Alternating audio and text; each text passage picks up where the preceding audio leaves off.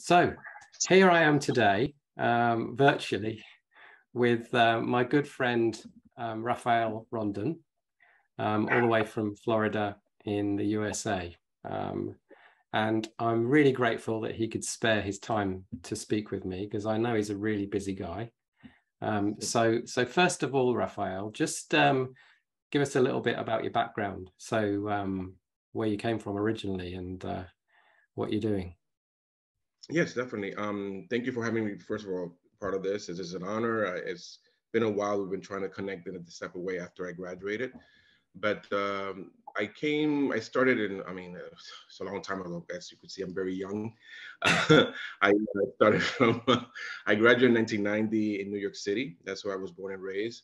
And I started the hygiene career there. That was my first one. I went into a hospital, and that's where I started practicing and then I, went to a after that a private office and worked for a year or so. But I came to Florida after that. So I've been in Florida now for maybe now um, 28 years or so that I've been in Florida. Wow. Um, and I landed here and not knowing that I had to retake my national boards again because of the time frame that had passed in between. Um, Florida has a different, of course, the laws are different. So in that time, we had to retake nationals and practical all over again. It was like starting from scratch. So it it took me a little bit because I.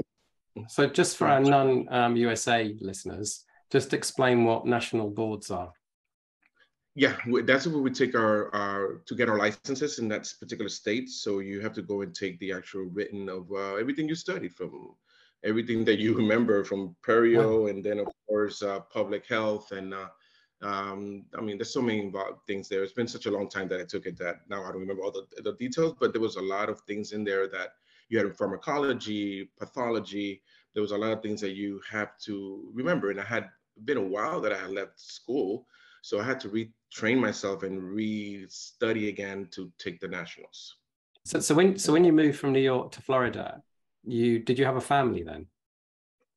I did not, uh, but I was already um, dating my wife. I wasn't married yet. I dated my wife, so we moved to Florida together. And uh, here, this I probably like six months into being in Florida, we got married. So then I started. Thank you. And I, but at that time still, I didn't have my license for Florida, so it was like uh, she practically pushed me, go ahead and do it, go ahead and do it, go ahead and do it, because I was like not wanting to, based on going to that whole eight-hour exam, written, thinking, going back, and then trying to study every night. I was I was already working in an office that um, they were, I was placing IVs because in New York City in the hospital, I was placing IVs. So a doctor here hired me to place the IVs and get, because he was doing surgeries in the office, but it was more not the mouth, it was the feet. It was a podiatrist. So it was interesting. I went from the mouth to the feet. So I was here for a few years working a podiatrist, which I learned so much in that area too. But um, it was, uh, he hired me because of uh, be able to place the IVs and get the patient um, eh, just uh, to sleep a little bit while they do the surgery.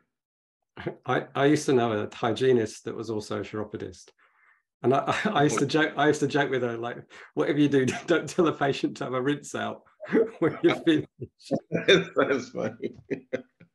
That's so, a good one. So, so you've now got um, two children? I have three. I have three my, children. I have, yeah, three. I have a girl. She's 26. She's my oldest. I have my middle one, he's um, 21, and my youngest is 19. Fantastic. So two boys. Yeah. Are they are they all still living with you? Uh, actually, my youngest only is the one that's living with me. The other, my daughter moved to Chicago. She works in a in a, as a business manager. Well, she does finances for a mega church there, and she does the worship as well. She's mm. really good. Not because, not because I'm the dad, but she's very good with the worship part of it and her singing and my son, my middle one, is in the Air Force, uh, Air Force with uh, air traffic controller. That's what his, his, job is there. And then my youngest is studying to be a pilot, and he's doing that home. Yeah. Wow, so that's yeah. fantastic. And they both chose the right service. They're all in the Air Force. Yeah, well, the youngest is not the Air Force. He's just doing it through schooling here. Wow, um, fantastic. Yeah, the middle one is one through the Air Force. Yeah. Brilliant. You must be very proud. Yeah, I feel really good. It's, it's nice. It's nice. yeah. So, and so is the church important to your life as well? It is very important. Yeah, it is part of my beginnings, my start, my you know everything, my center. Because you know you need some someone like I believe in God and I believe that he, you know, he does and carries you and all that good stuff. So brilliant, fantastic. Yeah. So you were then in clinical practice, um, a hygienist. How, did how did that work out for you? It was interesting when I when I started as a hygienist. I worked in hospital, so it didn't. It was no feeling to it in the sense of no differences. In the sense, hospital is a hospital. There's different type of people you work with different people, so it doesn't feel like you're a guy amongst ladies. And I was the only hygienist at that time in that hospital, so it didn't feel awkward.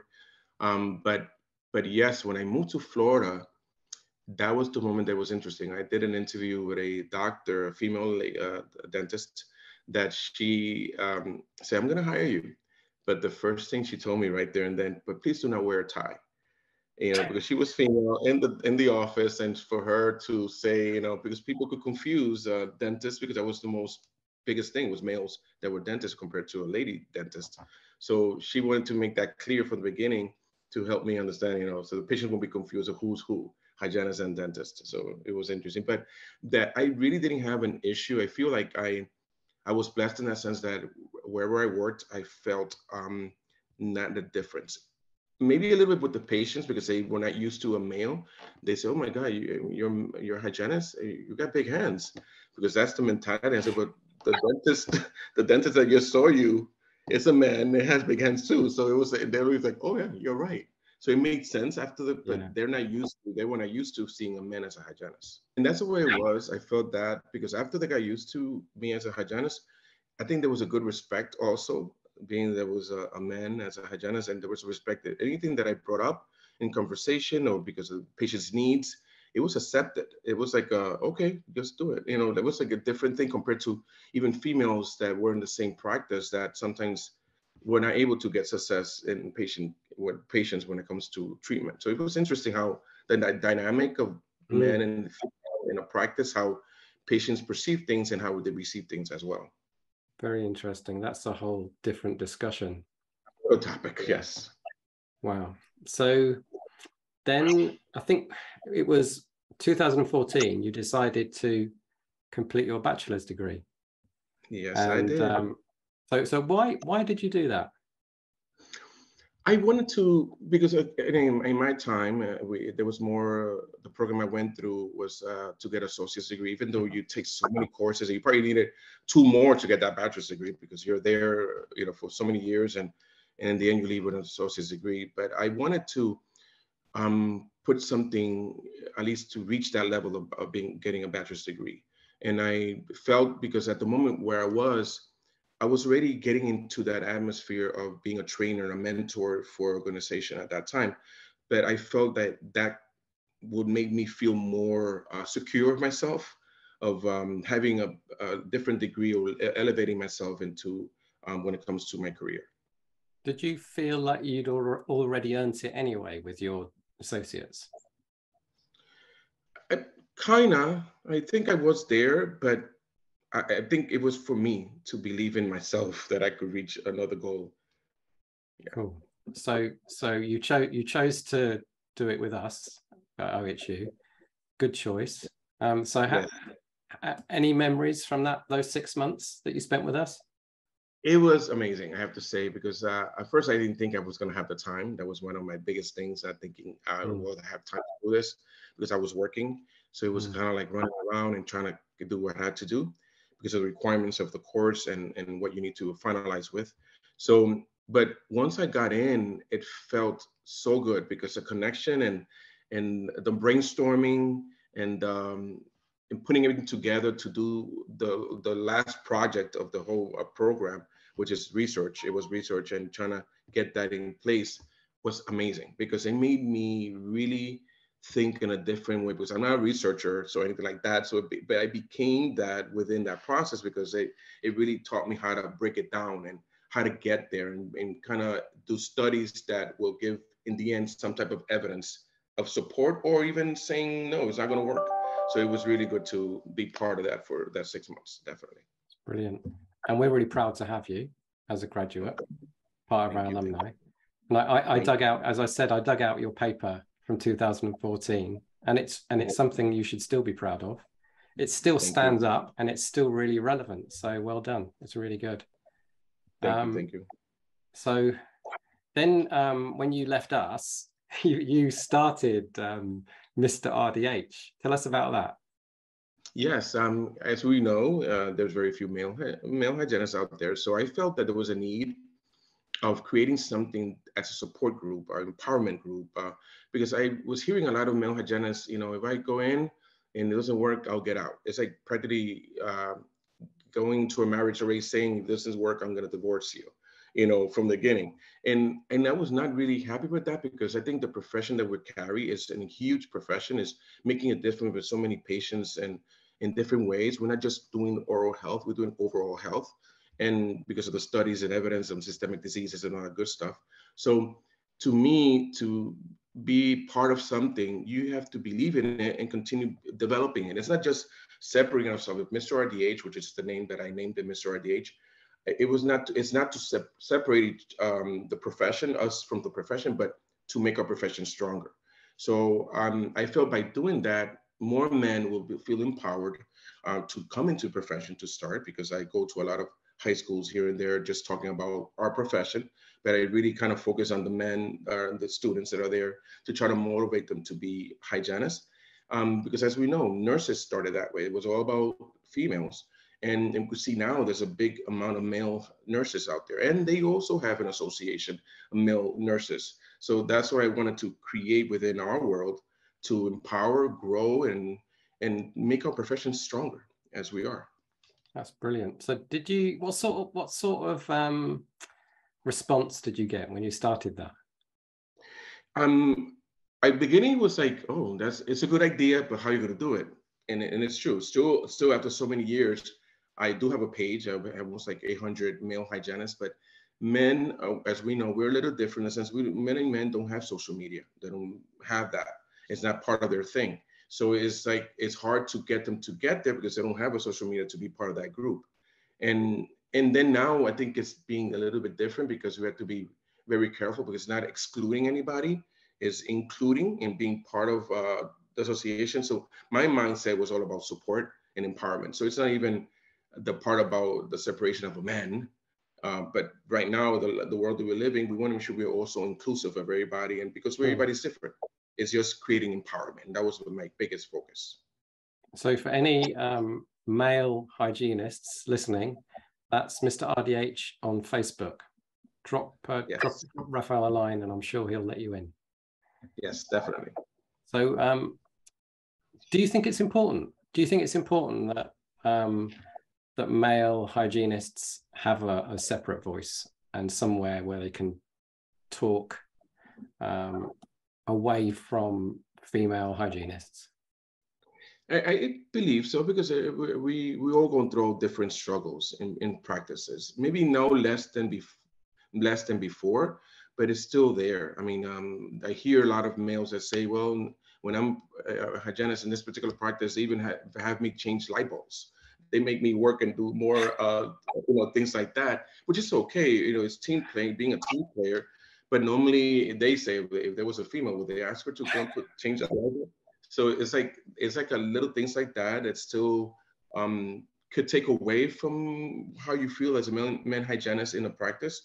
Um, and also depending on if it's a male dentist, all that those pieces there, sometimes there's also a struggle with that as well. And like I started from the beginning, even sometimes with the female, they don't want to feel like, you know, you're the dentist and I'm the hygienist and yeah. that feeling. So it's a lot of little things that by having a group, you get to overcome it, have conversations, how to overcome that, and how to be uh, what you're there for to service a patient, taking care of the patient. Yeah, I think it's a great idea. I think having that support network is a really good idea. Knowing that somewhere you can go somewhere and vent or ask advice I think mm-hmm. is a really good idea. Well done for starting that initiative. Yeah, thank you. So, um, and then you you went up in the big world of the corporates. So yes, tell us about that. So that's uh, well, that's where you are now. Yeah, that's where I'm now. I'm actually started um, when I moved to Florida, and all that good story that I said earlier, and then I landed in a uh, DSO, um, which is uh, Coast Dental. Um, I started as a hygienist, practicing hygienist, and they asked me if I could, um, if they could have hygienists come through me in the sense of um, shadowing me in the process. And probably I was like probably like six months into it. And I said, sure, yeah. I mean, so my part was uh, bringing the onboarding the hygienist and shadowing me to the process and using this, the, our system, computer system, and verbalizing how to talk to the patient about certain things and care and all that good stuff. And maybe within a year, they open up a position, a hygiene administrator for the company. And I have 11 uh, people that applied, inside and outside people came in, applied for the position, had to do a presentation. Um, I was blessed to get the position. So I started from there. Then I got out of the chair and I started training, coaching, and mentoring hygienists. And it's all about standard of care. It was all focused on the care of the patient and doing the right thing for them based on the diagnosis or, or what we've been gathering. So I was going office to office doing the training, and and that really uh, I had a good mentor. Her name is uh, Janet Hageman. Amazing person. She really mentored me uh, and, and, taught me how to, you know, be the best that I could be in, in what I did based on standard of care, uh, verbiage, communication styles, and things like that. She was amazing. She's amazing. I mean, I still talk to her after years. And after that, um, I worked, I continued working there for like 10 years doing the mentoring. And then I was um, actually asked to go to a different company. And there I felt like I completely grew more because it was, it really took me out of the box. It was uh, 23, uh, comp- uh, what can I say, groups within the company. Well, the name wow. of the company was American, American Dental Partners. So they had 23 groups in different states and that really taught me how to flex myself in different direction because in every state there was doctor groups that delivered or said did things differently when it comes to the service that we're rendering to the patients. you know some said uh, do srp at this level or don't place antibiotic here or don't do it here or do it at this number. So it was different. So it showed me how to be flexible and be able to how to work with the teams in that area to still ensure that the patient was getting the best quality service that it was needed so that really taught me for it. And I was there for 11 years. And then I recently was asked to, now I've been now actually two years now. Uh, incredible, time goes very quickly. Um, to be the VP of Hygiene Operations for Coast Dental. So now I really, uh, really developed the entire organization in the sense of uh, anything that's to do with hygiene. I we have a great team under me that are hygiene directors that are amazing. We work together to accomplish the goal of giving the patient best care and be able to empower hygienists to do the right thing within the organization. That's fantastic. So, so how many um, hygienists have you got at Coast Dental? Right now, we have 142 hygienists. Wow. And growing, and growing. We're still uh, developing, um, adding more hygienists in the practices where we still have some openings throughout. So it's a good company. We really have turned it over to patient care, standardized care, you know, following the academic periodontology and the ADA guidelines, period is you know some people are scared of DSOs. Oh my God, they're all about production and all that. It's not like that. Uh, it, it's really not like that. It's really ensuring that we could educate our patients on their needs and let the patient decide if they want it or not. But it doesn't change their needs. It, it's all about us focusing on let's educate more, educate more until they finally get it, or do it one step at a time to finalize their treatment.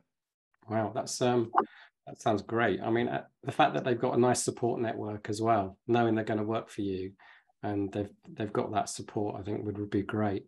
Yeah. So, so, so, where does Rafael see himself in five years' time?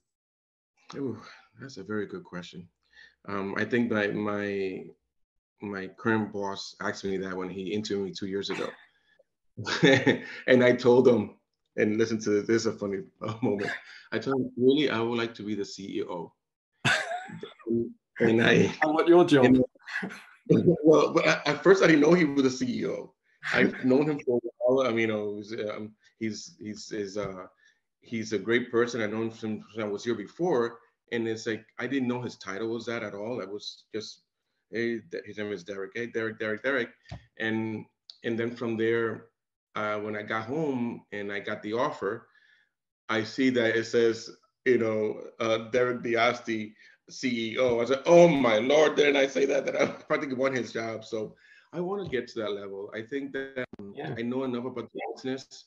Um, and the clinical part of it, I love, and I just that's my life. Um, and but the operation piece I've learned too throughout the years. I was a director of, of, um, of operations for the other company I was with, uh, American Dental Partners.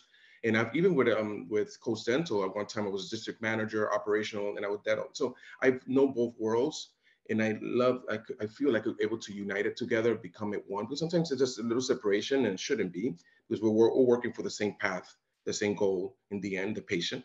So I feel like one day I would like to see myself in five, if five years, I would like to see myself in that level.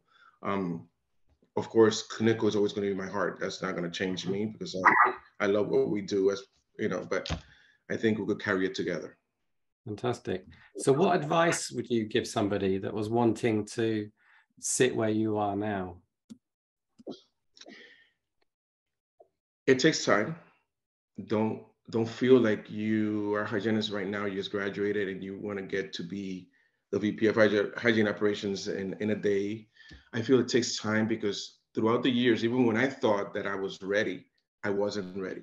I it took time for me to get to this level and in probably 18 years of of being a, a mentor, a director, and getting into different things of training and even operations to get me to this where I am now. It takes time. So slow down, learn, get the experience, get a good, you know, support leadership piece under you, get a mentor that will also help you carry you and speak to you so you could talk back and forth.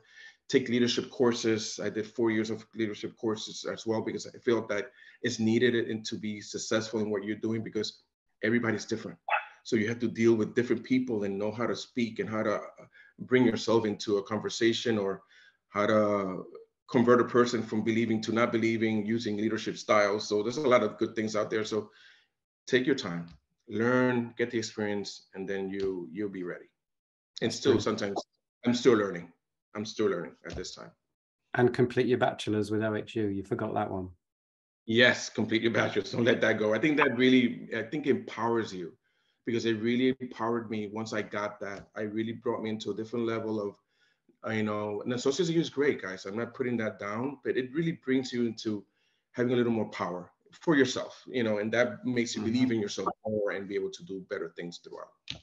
Do you know, it's really funny when we first started this 12 years ago. We um, our vision was to um, remotivate clinical hygienists to get them to think differently about their patients, and a lot a lot of them are continuing in that role um, but a huge amount have actually self-discovered that they got a lot more potential and they're mm-hmm. actually moving out of the clinical environment into other fields like you've done um, and we've got quite a few now that are in actual leadership roles um, all over the world. So it's it really is interesting. I think it's just kind of making that beginning to get people to think a little bit differently. Yeah. And that's what happened to me. Fantastic. So, um, thank you extremely, hugely amounts for um, your time. Really appreciate it.